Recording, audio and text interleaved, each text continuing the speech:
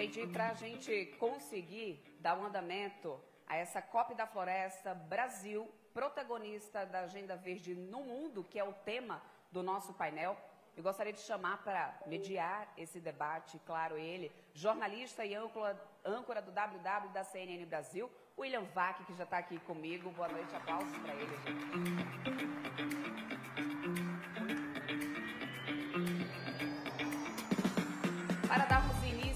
Evento fundamental para o futuro do nosso planeta, temos a honra de convidar alguns convidados, líderes que já estão presentes aqui conosco, representando o compromisso e a responsabilidade ao nosso país com a sustentabilidade e o combate ao aquecimento global. Então, eu gostaria de chamar aqui ao palco o ministro de Minas e Energia, Alexandre Silveira, responsável por liderar a transição energética e avançar com iniciativas estratégicas para um futuro mais sustentável. Bem-vindo.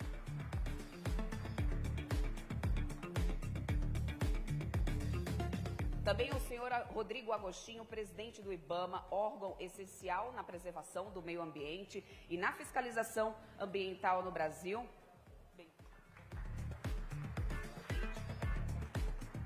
E o governador do estado do Amapá, Clécio Luiz, uma liderança comprometida com o desenvolvimento sustentável da Amazônia, que também já está aqui com a gente. E a gente vai dando a largada nesse painel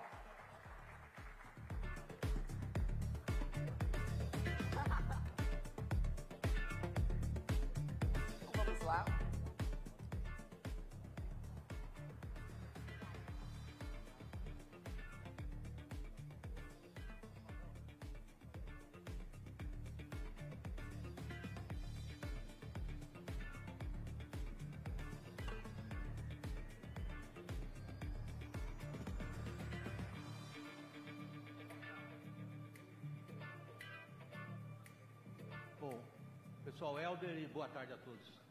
É, Helder e, e o Telo estão no mesmo carro, parece, vindo do aeroporto. Está bem complicado. São Paulo com chuva segunda noite, não é, pra, não é para qualquer um. Eu acho que chegando a gente incluir na conversa, a conversa promete. É, se a gente fala em perspectivas de ações coordenadas domesticamente e internacionalmente, a gente tem que olhar para o que está acontecendo lá do outro lado do mundo, no Azerbaijão, na COP29. Vamos vamos. É, meu moto pessoal como jornalista é não brigue com notícia. Notícia pode me agradar, pode me desagradar, mas não se briga com notícia. A notícia infeliz que vem da COP29 é que ela foi consideravelmente esvaziada. Principalmente naquilo que o Brasil vem insistindo ao longo de posturas diplomáticas que duram bastante tempo já, que são os mecanismos de financiamento para a questão ambiental, especificamente para a transição energética. Este é o, a notícia com a qual a gente não pode brigar. A COP29 foi esvaziada nesse sentido. A ideia de que a gente tivesse dali um mínimo de consenso sobre ferramentas, instrumentos internacionais de financiamento, grana, não está se materializando. E aí, Alexandre Silveira? Boa noite, William. Boa noite, Ana. Boa noite, João.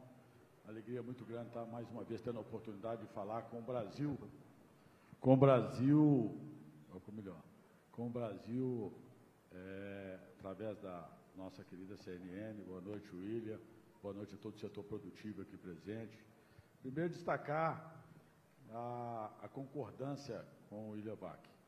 Realmente tem sido pauta de um grande debate nosso internacional. Eu tive a oportunidade de fazer agora no G20, com uma presença, inclusive, maciça do mundo no G20 de energia em Foz do Iguaçu vi os 21 países que compõem o G20 estiveram presentes, os 20 que já são membros naturais e os países sul-africanos, mais 22 é, convidados, onde a gente pôde inusitadamente provar a credibilidade que o Brasil voltou a ter com a aprovação do documento que não era aprovado desde a Itália. Em 2021 não era aprovado o documento da transição energética, que agora passa a ser considerada não só no Brasil, mas no mundo a necessidade dela ser justa, inclusiva, gerar emprego e renda. E aprovamos ali, William que é importante aqui que o Brasil saiba disso, foi pouco divulgado, aprovamos a possibilidade real da, do crédito de carbono ser incluído para a medição dos biocombustíveis, tanto no mercado regulado quanto no mercado voluntário, que é fundamental, já que o Brasil, além daquilo que ele já contribui com a questão da sustentabilidade global, ele vem ainda implementando, e de forma muito vigorosa, nesse um ano e meio, implementando políticas de descarbonização muito importantes para a nova economia, que eu tenho dito que fora dela não há salvação, que é a economia verde. Nós, há poucos dias, o presidente Lula sancionou, num grande encontro, um belíssimo encontro em Brasília, o combustível do futuro. Está aqui o nosso querido Vander, presidente da CNT, que sabe que nós ampliamos a possibilidade de, de participação do etanol de 27,5%, que é o limite na lei hoje, para 35%, ampliamos a possibilidade da participação dos, do biodiesel de 15% até 25%, conforme estudos, é claro. Criamos um mandato para o diesel verde. Isso é importante dizer, João, porque é uma nova indústria. É uma nova indústria que o Brasil aponta claramente para ela, que é a indústria da descarbonização do combustível sustentável de aviação, de 27 a 37, do diesel verde é, e da captura e estocagem de carbono. Mas realmente é uma realidade, o presidente Lula tem feito nos fóruns internacionais, eu pude ter a alegria de acompanhá-lo em Puglia, na Itália, no G7, onde ele tem cobrado a participação mais real e concreta dos países desenvolvidos, em especial para financiamento da transição energética. Silveira, deixa, só, deixa só pegar esse ponto. Eles estão cobrando de nós a regulamentação do mercado de carbono. Acabou de sair o parecer da relatora ao PL, o mercado de carbono, entrega ao Senado agora. Recebi agora, 77 páginas aqui na rapidez, só consegui ler duas. Você sabe o que está lá dentro? O Brasil precisa realmente regular o crédito de carbono. E, na Se a gente não na... fizer essa lição de casa, como é que a gente vai pedir dinheiro lá fora? É, é, é fato. Agora, é importante, William, a gente falar sobre crédito de carbono, e eu tenho dito isso, que o mundo não quis levar a sério o acordo de Paris de 2015 e nem o de Copenhague de 2009, onde estabelecia que, no artigo 6 nós tínhamos que, a governança global tinha que estabelecer é, regulamentação para o crédito de carbono global. Porque o Brasil, e o governador Helder e o governador Clécio vão poder falar disso com mais propriedade, é importante destacar. Nós temos aqui representados, o governador Helder, espero que chegue aí ainda, mas o governador Clécio, que tem 73% do seu estado de área de preservação. 73% do estado do Amapá contribuindo com a sustentabilidade global e o estado do Pará 56%, ou seja, a maior, mais da metade desses dois estados contribui com a sustentabilidade global, onde os países industrializados não fizeram o dever de casa. O Brasil realmente, na questão do crédito de carbono, ele precisa regulamentar, nós não, não, não, não podemos, no mundo, ficar a, esperando apenas o crédito de carbono voluntário, precisando do crédito de carbono obrigatório e regulado, para que a gente avance.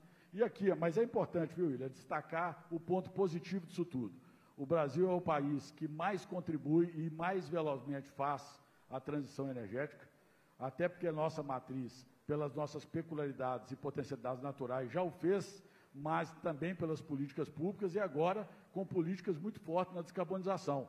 E políticas que o nosso Rodrigo vai poder falar bem, na questão da preservação ambiental, já que nós voltamos a compreender o país que tem que respeitar rigorosamente a legislação. De, deixa eu pegar esses aspectos mais abrangentes aos quais você já se referiu e passar logo a palavra também para o Rodrigo e para o governador. Boa parte do que você mesmo registrou, fomos atropelados pelos fatos. E os fatos são de uma amplitude geopolítica é, difícil de se prever nós estamos às vésperas de um dos maiores acontecimentos geopolíticos da década, que é a eleição americana. Tem um impacto enorme sobre políticas ambientais. Eu não estou aqui expressando nenhum tipo de juízo de valor. Estou apenas alertando a audiência e a plateia para o tamanho do desafio que vem para cima de nós, Rodrigo Agostinho. Você perde o sono quando você pensa na eleição americana, tudo bem? É, obviamente que a gente se preocupa, né? Nós estamos aqui no continente americano, estamos todos juntos, e estamos todos juntos nessa nave que é o nosso planeta. A nossa atmosfera, é, nos últimos 20 anos, dobrou a quantidade de gás carbônico na nossa atmosfera, não é que a gente respira.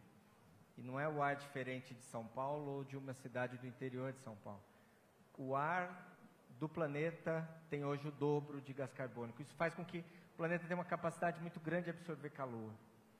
Uh, em 1992, no Brasil, quando a Organização Meteorológica Mundial mostrou o que de fato estava acontecendo nos processos do nosso planeta, nós tivemos aqui no Brasil, na Rio 92, a assinatura da Convenção de Mudanças Climáticas, que tem reuniões anuais, que são essas, essas COPs, né, onde nós teremos agora a 29 acontecendo no Azerbaijão. E, de fato, a transição energética precisa acontecer, precisa acontecer com velocidade. Países como o Brasil, que são países florestais, é, sem sombra de dúvida, já contribuem bastante e podem contribuir ainda mais, é? desde que essa governança esteja colocada em pé. Nós temos o desafio tanto de nos adaptar às mudanças climáticas, porque elas nos atropelarão, quanto da mesma forma a gente fazer, obviamente, uma lição de casa planetária do ponto de vista de transição. E isso não é fácil. É? Eu não tenho dúvida que tem algumas agendas que a gente vai conseguir avançar agora no Azerbaijão. Talvez a, agenda do metano, que o Brasil já é líder na agenda do metano. A agenda do hidrogênio, que está começando, mas no Brasil a gente já tem, já demos passos significativos nessa direção, né, do combustível limpo, combustível acessível, né, que se complementa aos investimentos de usinas eólicas e solares no Brasil. Mas a gente ainda vai ficar, provavelmente, com um grande desafio, que é o financiamento. Né, como financiar toda essa transição, como fazer a remuneração justa aos países florestais do mundo, como que a gente pode alavancar, de certa forma, toda essa estratégia. E para isso a gente precisa de um mundo cuja governança internacional também esteja funcionando. Né? Hoje o mundo está entretido em guerras, guerra da Ucrânia, né? o conflito Israel-Palestina, e é, ao sabor também de vontade política. Né? Rodrigo, que é o desafio. Deixa eu pegar um ponto que você levantou de cara quando você começou a falar. Você descreveu direto uma situação climática das mais, digamos, relevantes em termos do que precisa ser feito para combater o gás carbônico. Foi a primeira coisa que você referiu. O que significa, se eu faço a leitura correta do que você disse, que nós precisamos tomar um enorme cuidado com o que a gente fez até aqui, que foi o uso de combustíveis fósseis. Você consegue convencer o governador do estado do Amapá ao seu lado que é bom não pensar muito em combustível fóssil se ele tem na frente dele uma das maiores reservas conhecidas, governador? Bom, ele não chegou a fazer a pergunta, né? E primeiro, boa tarde, boa tarde, William, meu querido Alexandre, ministro, Rodrigo, Rafael, lá o João e a Aninha também aqui, todos e todas presentes. Bom, é uma provocação importante, né? Numa, num cenário hipotético de uma pergunta ou de um convencimento. Clécio, Clécio é, licença, eu você... gostaria só de pedir licença a vocês. A gente está com o governador Helder Barbalho aqui, por gentileza, governador Helder Barbalho, do estado do Pará. Ele que vai em breve ser anfitrião da COP30, representando um estado que desempenha um papel tão crucial na preservação da Amazônia. Eu quero registrar aqui também que o Rafael Telo, vice-presidente de sustentabilidade da Ambipar, já está presente no palco. Rapidíssimo, gente, ele chegou, a gente nem conseguiu perceber a falta dele. Agora sim, nosso painel. Vamos à continuidade, William. Prossiga, por Então, favor. William, vamos imaginar que o presidente Rodrigo chegasse, olha, Clécio, é, você tem que se convencer de que diante da gravidade, e há uma gravidade global em relação às mudanças climáticas, o Amapá tem que abrir mão de produzir riquezas, que é para o Brasil também, mas que vai ter um impacto imediato e a longo prazo no seu território, no seu estado, na sua população. E eu diria, bom, nós não podemos fazer isso. Porque nós vemos no estado mais preservado do Brasil, nós usamos de 81, de, de 43, quando foi criado o território do Amapá, até hoje, 3% da nossa cobertura vegetal. Nós somos o estado mais preservado. Nós somos o estado mais protegido. 73,5% do nosso território é feito de reservas, reservas biológicas, de toda forma, parque. Nós temos um parque de 4 milhões de hectares, que nós soubemos da sua criação pelos meios de comunicação. Nós fomos o primeiro estado a demarcar todas as suas áreas indígenas sem nenhum conflito. E por aí vai. Então nós temos um belo serviço ambiental prestado ao nosso povo, ao Brasil e ao mundo. Ocorre que esses indicadores ambientais, que são maravilhosos e nós queremos mantê-los, nos orgulhamos deles, porque são os melhores indicadores ambientais do planeta, do Brasil e tal, tal, tal, eles são muito assimétricos dos indicadores sociais e econômicos. Porque às vezes, quando a gente fala da Amazônia, João, a gente fala e pensa na copa das árvores, pensa naquelas imagens bonitas que são mostradas, e são bonitas mesmo, né? E vê os rios sinuosos, aquela imagem de floresta bonita, mas esquece que debaixo daquelas copas, daquelas árvores, existem pessoas vivendo, na maioria das vezes, na pobreza. E, até onde eu saiba, dito até pela ministra Marina, o Brasil ainda não abriu mão do petróleo como matriz energética e como estratégia. Então, nós temos um prazo para fazer o que o mundo chama de transição energética. Falam em 50 anos, pouquinho menos, pouquinho mais. O Amapá, até nisso, já fez a sua transição energética há muito tempo. Nossa, nossa energia é 100% renovável. O que nós estamos fazendo agora já é a diversificação energética com energia solar, com energia eólica e outras fontes. Então, nós precisamos, e esse é o papel do petróleo para nós, é fazer com que os indicadores ambientais possam ser compatíveis com os nossos indicadores sociais e econômicos. Eles puxem indicadores econômicos e sociais, claro, não de qualquer jeito, não de qualquer forma, com sustentabilidade. Caso é. contrário, só para encerrar, falar de sustentabilidade com a floresta preservada, e eu repito, nós precisamos e queremos e vamos manter a nossa floresta em pé e viva mas é incompatível com a pobreza que existe. Então, para esse discurso não ser só da boca para fora, ter realmente concretude, nós precisamos fazer que Deixa... esses indicadores puxem os sociais e os econômicos também. É o meu intuito nessa conversa escapar do maniqueísmo imbecil. Isso. Isto ou aquilo. Perfeito. Mas nós estamos diante de decisões estratégicas de alcance planetário. E é disso que nós estamos falando. Se nós estamos falando do esvaziamento dos instrumentos financeiros na COP29, e se nós estamos seguindo o raciocínio do Rodrigo inicial, que uma série de compromissos internacionais implica decisões estratégicas que de fato indicam a limitação da exploração de recursos fósseis como esses que estão diante do território. Território no sentido geográfico, não, eu sei que é um estado que você administra, há sim uma decisão estratégica a ser tomada.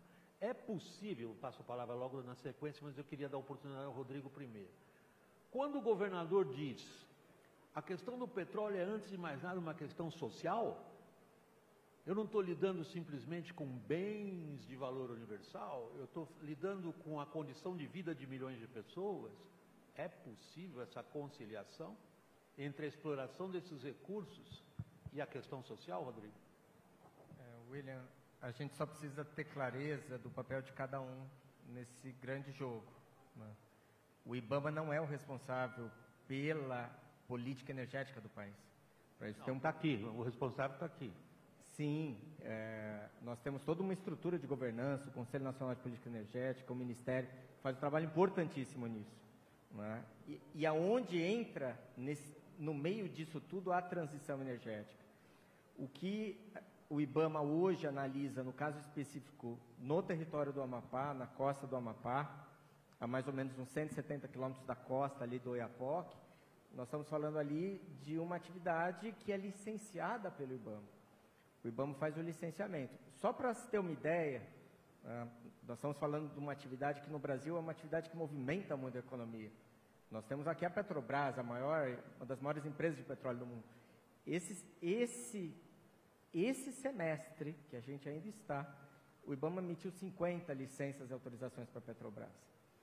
O que, é, o que significa que o IBAMA não, não parou de licenciar a atividade de óleo e gás, porque é uma atividade importante para o país do ponto de vista estratégico. No caso específico da exploração de petróleo na foz do rio Amazonas, que é uma bacia grande, gigantesca, que vai em uma extensa região, né, por isso tem esse nome, é, sob influência da foz do Amazonas, o que a gente está analisando é a proposta que foi feita pela Petrobras específica naquele local. Nós não queremos, e não é papel do IBAMA, fazer o convencimento de ninguém, nem do governador, nem do governo, de que a transição é necessária. Né? Nós estamos, só para você ter uma ideia, no 15 mês seguido que nós ultrapassamos um grau e meio, então, que era aquela ver. meta que a gente imaginava que o mundo ia chegar nos próximos 20 anos. Você, você descreveu muito bem o papel da sua instituição. Seu papel não é convencer. Seu papel é, em cima de decisões técnicas, levar as coisas. Mas o seu é convencer. Primeiro é destacar que o Brasil já tomou sua decisão. O Brasil investe como nenhum país do mundo na transição energética. Nós temos a melhor matriz do planeta.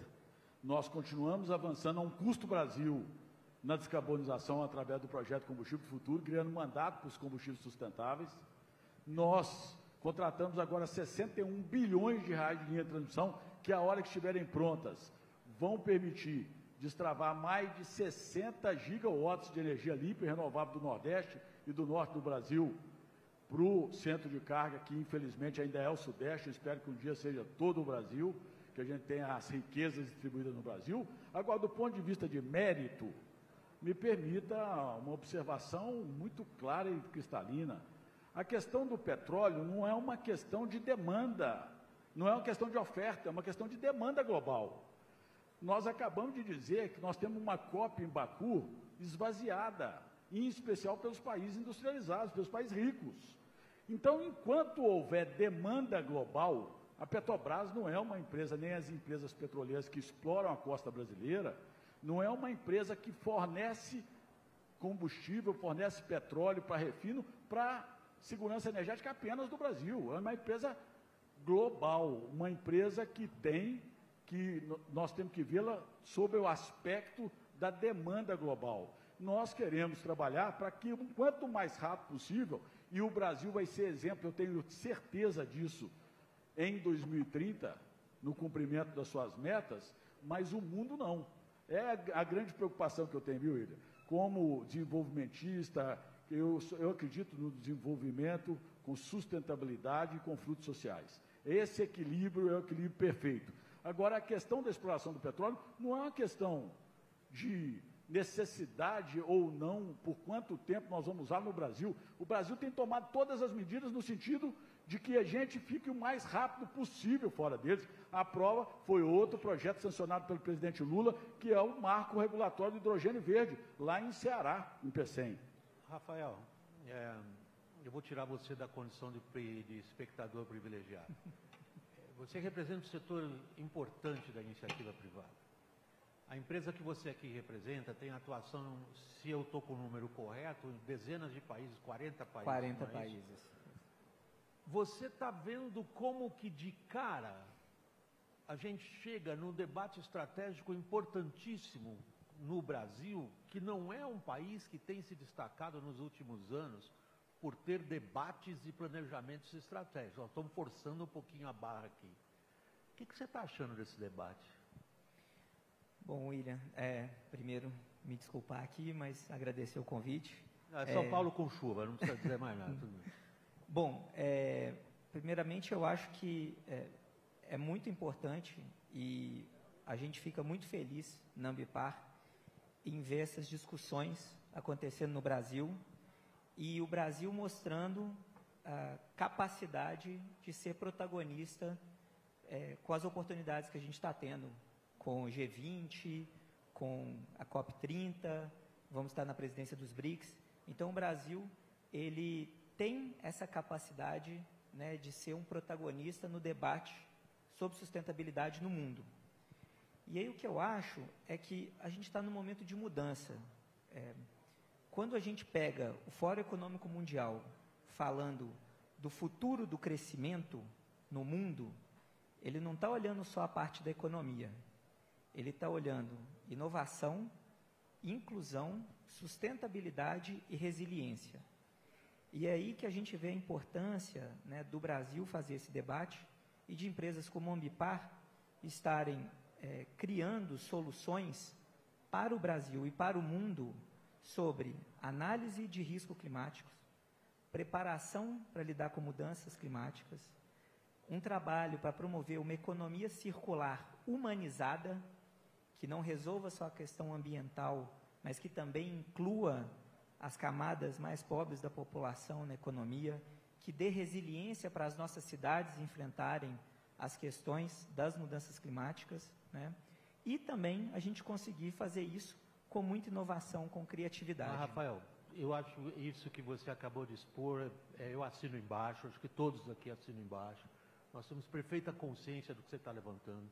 Agora, veja a gravidade do que nós temos aqui em cima. Nós temos o Pacto Federativo, são os estados aqui. Nós temos o Executivo, que é o Ministro das Minas e Energia. Nós temos uma autarquia importantíssima do ponto de vista ambiental, que é o IBAMA. Isso tudo precisa se combinar numa atmosfera política na qual nós temos que tomar decisões vis-à-vis -vis o que nós estamos vendo acontecer lá fora, que nos influencia diretamente. Nesse sentido, você, como ator nesse debate, você vê essa discussão no Brasil ganhando sentido e direção ou estamos dando volta no mesmo lugar? Não, está ganhando sentido e direção, com certeza. Vamos por partes. Se a gente pensar que a gente está numa discussão avançando para ter um mercado regulado de carbono no Brasil, que é fundamental para que a gente possa dar valor para as nossas florestas, para aqueles que conservam, para aqueles que estão reflorestando e fazendo a transição energética, naquilo que a gente ainda precisa evoluir, isso é um ponto positivo e mostra maturidade. E quando a gente pega outros temas, né? Acho que essa, esse debate que tem é natural e necessário numa democracia. E se a gente quiser liderar, a gente precisa passar por esses movimentos para que a gente possa também falar de temas, não só esse debate igual está acontecendo no Brasil. A Colômbia, com apoio também de empresas brasileiras, vai discutir agora a exploração de gás. Né? Então a gente precisa mostrar maturidade, e eu acho que a gente vem mostrando isso, porque o que todo mundo quer é que a gente tenha uma economia que seja próspera, que seja inclusiva e que respeite os limites do planeta, mas também é, é, seguindo o que a gente precisa. Não existe país no mundo, como o ministro falou, que tenha petróleo e não esteja vendendo isso. Agora, a diferença que eu acho é, nós estamos dependentes desse tipo de indústria ou nós estamos trabalhando para fazer essa indústria cada vez mais sustentável? Eu vou trazer exemplos da Ambipar. Quando a gente atende empresas do setor de óleo e gás, a gente está falando de monitoramento de fauna e flora, de desenvolvimento tecnológico, né, de redução de impacto dessa exploração, porque se a gente conseguir melhorar a qualidade também dessa indústria, a gente também vai estar reduzindo né, a pressão sobre o planeta. Helder, é, esse debate todo está no teu colo. O que a gente vê na COP29, em boa medida, quando a gente fala de esvaziamento, foram problemas também de logística, além dos problemas geopolíticos e, sobretudo, os problemas que alguns dos principais atores, a China também não vai, Estados Unidos, o presidente Joe Biden vai, a gente não sabe a partir de amanhã quem vai ser o presidente, que tipo de postura a gente verá é, sendo implementada do ponto de vista de Washington um ator importantíssimo. A gente vê os europeus preocupados com a logística da COP29 e eles estão calculando receber algo em torno de 50, 60 mil participantes. Essas COPs elas ganharam uma projeção enorme. Eu cobria de Kyoto em 97 no Japão e era 10% do que a gente vai ter que receber aqui no Brasil. Mas principalmente, a minha pergunta vai na direção do tipo de agenda que você, anfitrião da COP30, pretende que seja adotada, para que a gente não passe pelo que aconteceu agora, que uma série de expectativas se colocam em torno da capacidade de consenso em torno de instrumentos de financiamento e eles não se dão, se esvaziam. Então, a minha pergunta não é sobre se Belém tem capacidade de receber 50, 60, 70 mil pessoas, mas qual é a tua agenda? Obrigado.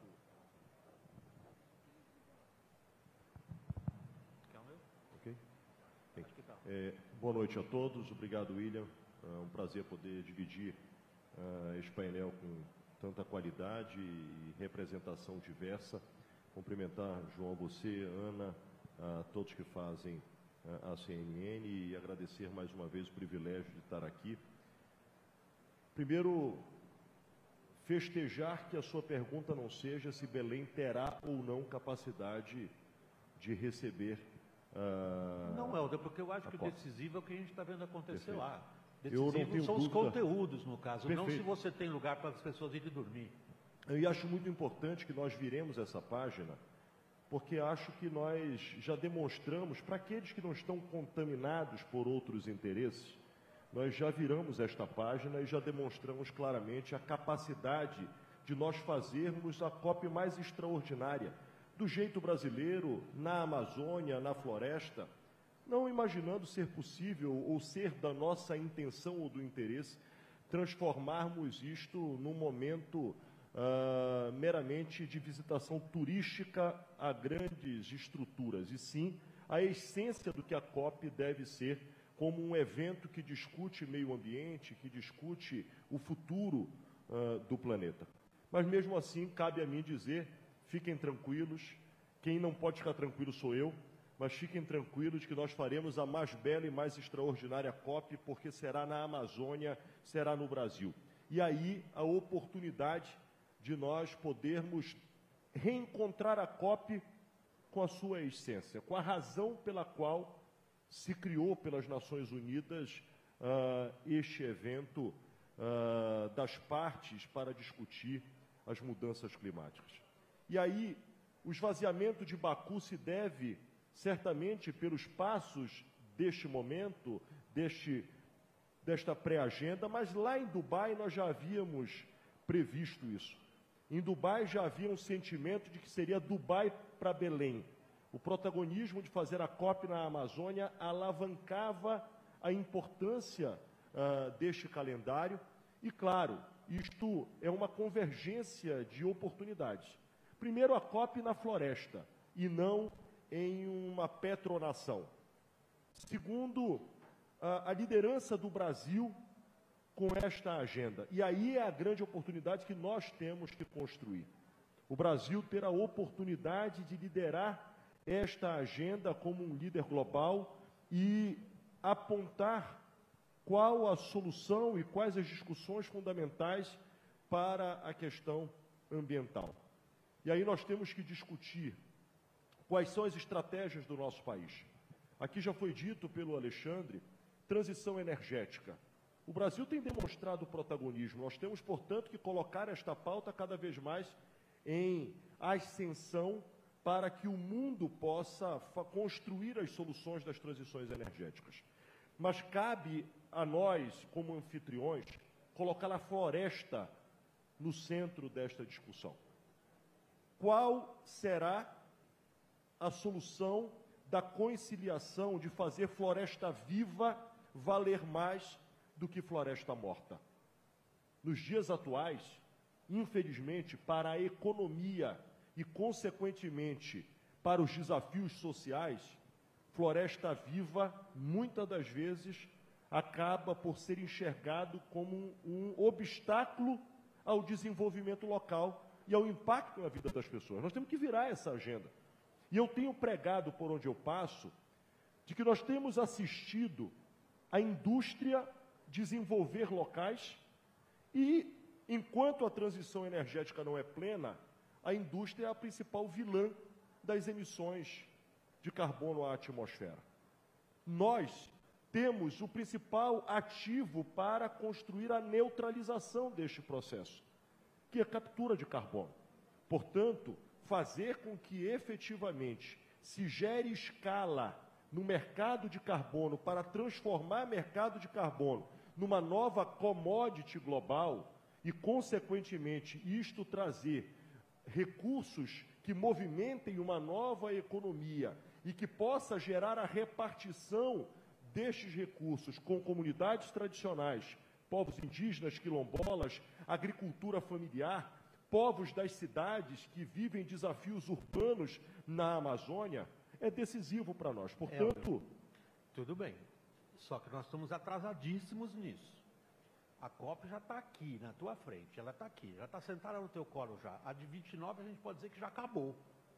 A 30 que você vai ser o anfitrião, ela vai perguntar, o mundo inteiro vai perguntar para nós brasileiros o seguinte: beleza, vocês são protagonistas, vocês têm energia limpa, vocês podem dar aula de transição energética, agora vocês conseguiram criar o mercado de carbono, que é exatamente o ponto que você acabou de levantar, porque ele é essencial do ponto de vista da captação de recursos, portanto, do horizonte de investimentos, portanto, da famosa segurança jurídica.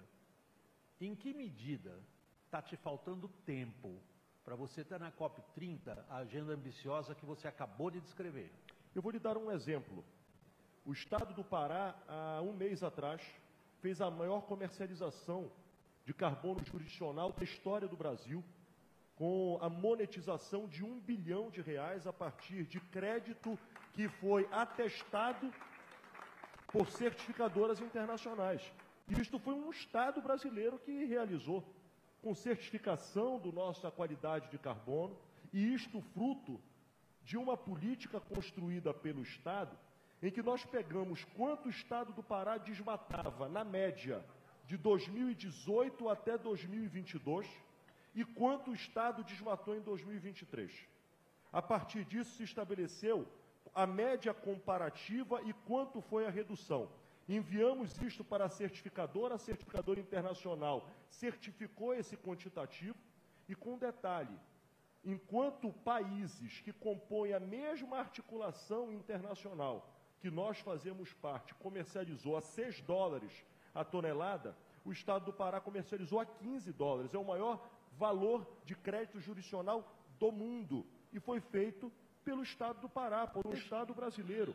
Portanto, este é um case de Deixa sucesso. Deixa eu colocar o Rodrigo nessa conversa. Por... Só para me poder concluir Completa. de uma nova visão de recurso. Neste momento, William, nós já temos certificado, nós vendemos 12 milhões de toneladas. E nós já temos certificado até 2026, 156 milhões de toneladas. Isso significa, a 15 dólares, 35 bilhões de reais de um recurso que não existia, que não está na receita do Estado, que não está na economia do Estado e que nós poderemos fazer com isto, reparte 35 bilhões em que nós estamos propondo na repartição 24% ficar para povos indígenas, 14% para quilombolas, 14% para agricultura familiar e o resíduo que dá algo como 20% para o Estado. Nunca mais o indígena do Pará vai precisar ir na porta da FUNAI para pedir recurso para garantir cesta de alimento para indígenas. Sabe por quê? Porque eles vão ser autofinanciados e a preocupação deles vai ser gestão Helder. de um recurso como preservadores da floresta. Helder. Aí vale a pena preservar a floresta, porque aí a floresta está valendo mais viva do que sendo desmatada Helder, por e favor. estando morta. Por favor. Essa é a lógica Vamos, da vida real que tem, nós temos que mudar. Tem uma outra lógica que você está levantando que eu queria ver o que, que o Rodrigo acha dela. Para boa parte, digamos, do conceito de proteção ambiental, transformar um bem da humanidade, como é a floresta viva, em dólares, soa mal.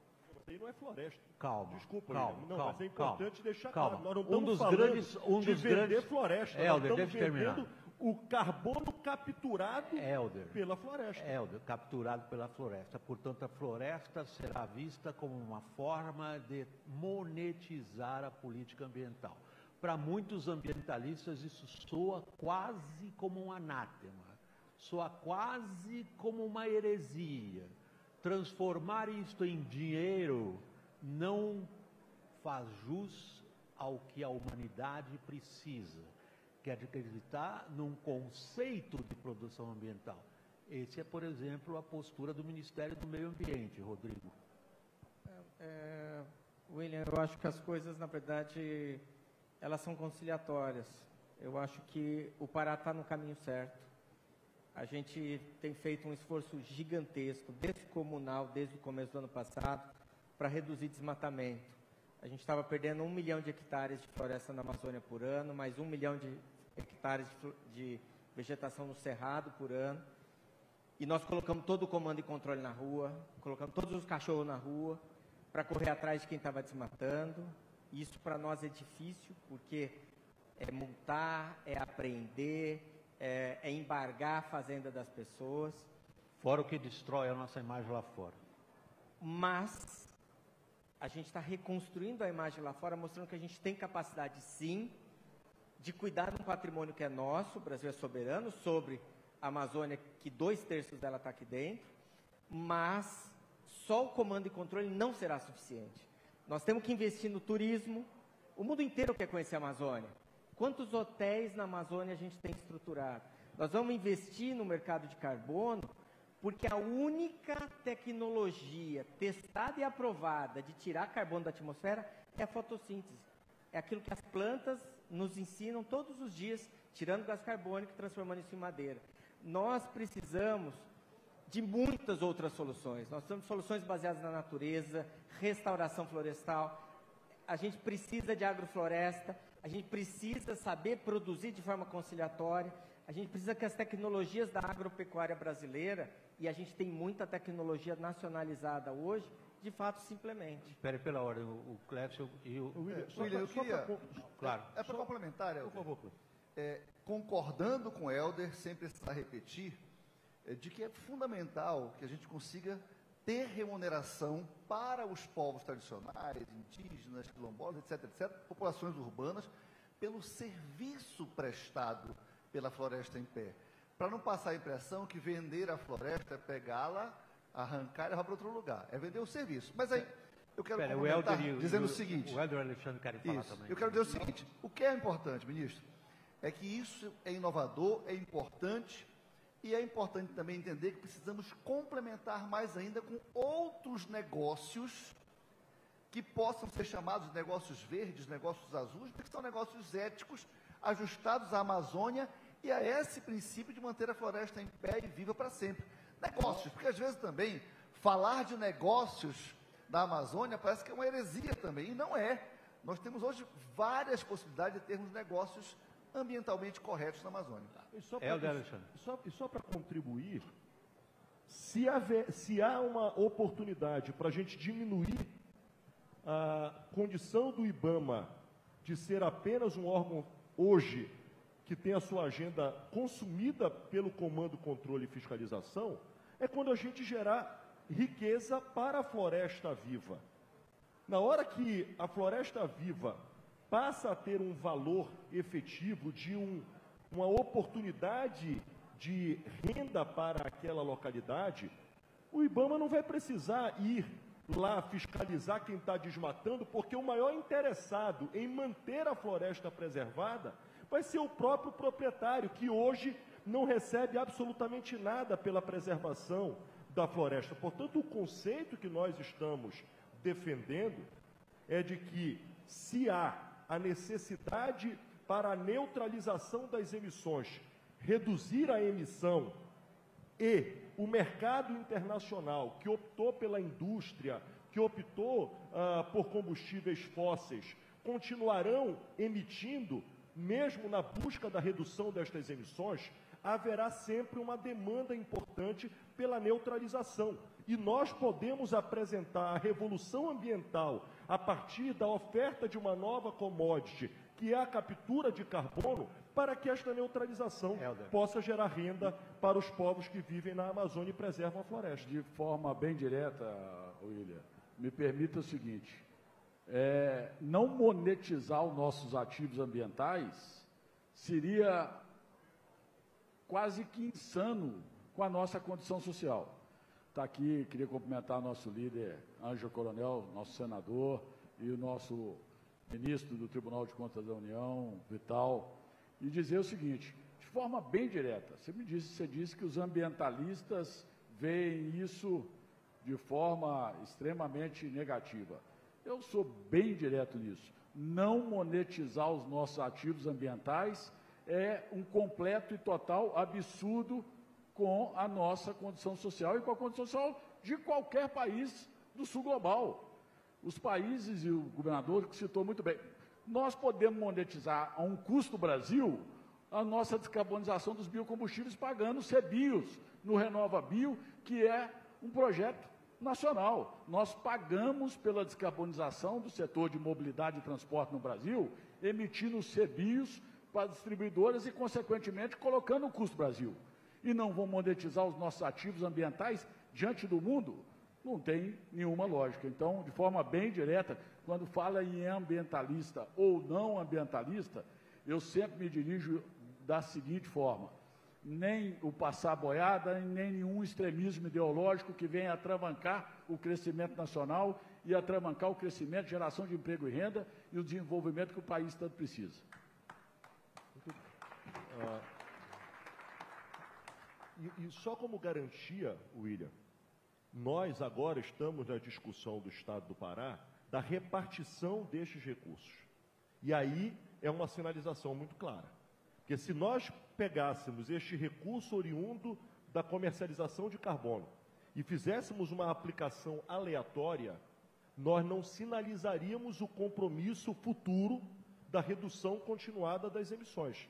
E por isso que a proposta que nós estamos fazendo é repartição com povos indígenas, com quilombolas, com agricultura familiar, e a parte que cabe ao Estado, William, obrigatório por lei. Eu não posso fazer uso discricionário. Eu sou obrigado a fomentar a continuidade da política de redução de emissões do Estado. Portanto, isto me projeta de que eu vou continuar viabilizando a redução das emissões, já que o Estado ainda tem um desafio enorme pela frente. Bom, não é um debate de candidatos, mas eu tenho um cronômetro horroroso na minha frente dizendo que faltam poucos segundos. É, a culpa é do João que inventou esse, esse cronômetro. Eu, como sou profissional de comunicação treinado para isso, é, jamais se avança o tempo. Então eu peço já antecipadamente desculpas pela minha falta de cortesia em dizer que o nosso tempo acabou. Agradeço aos participantes, particularmente a atenção de vocês Obrigado. e Bom. quem nos acompanha.